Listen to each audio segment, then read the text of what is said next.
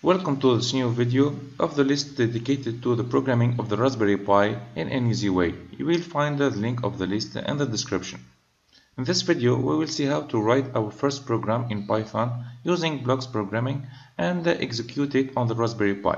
You will not write any code and you will have a minimum contact with the operating system of the board. First, you need to download two programs. The first is WinSCP and the second is PuTTY.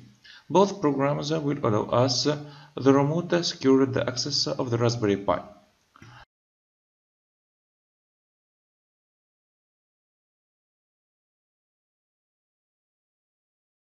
Now let's go back to the site easycoding.tn and search for any link to EasyPython.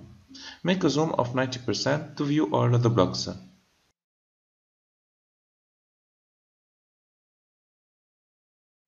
To show the message Hello World, we will need to call this block and change the text.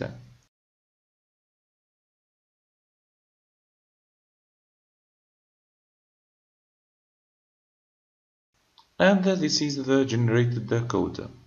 Now we will copy our code. Open now WinSCP. Here you will need to write uh, the IP address of your Raspberry Pi. We saw that uh, in the last uh, video how to get it. The default username is a Pi. The password is Raspberry.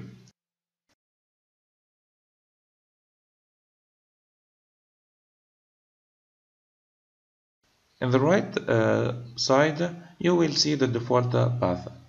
I will double click on the folder desktop and work there. For now, the folder is empty. I will create a file. Give the name of your file without any spaces or special character and add the extension uh, py. Now paste your code.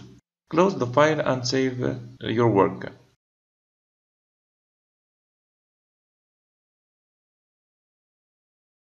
Now edit the property of uh, the file and make it executable.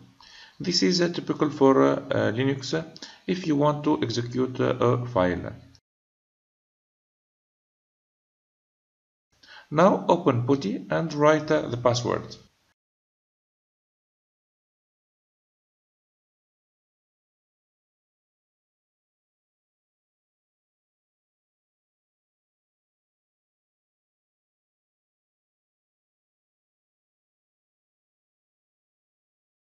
The ls command will show the content of your default directory. The cd command will move us to, the, uh, to that directory.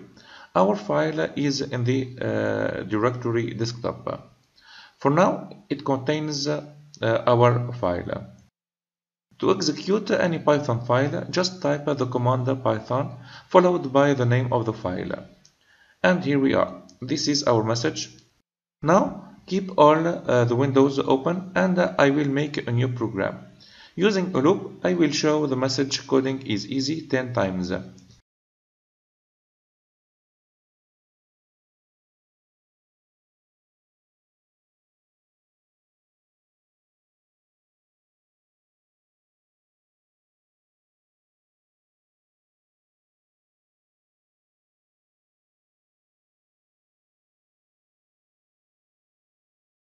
And follow the same steps.